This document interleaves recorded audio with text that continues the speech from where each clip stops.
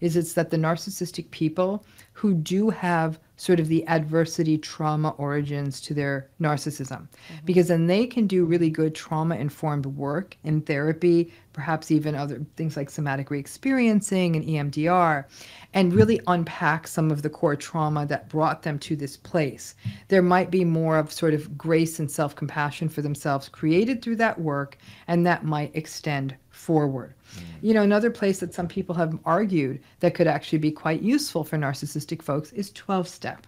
If you've ever read the big book on um, the, A, the AA, mm-hmm. um, you will notice that the entire big book is really about narcissism. It's about alcoholism as selfishness. It's about not noticing others. It's read it. It is really little, literally a manual of narcissism. So, in order for a person to be truly sober, it's not about stopping drinking or stopping using. It's about stop being that selfish person.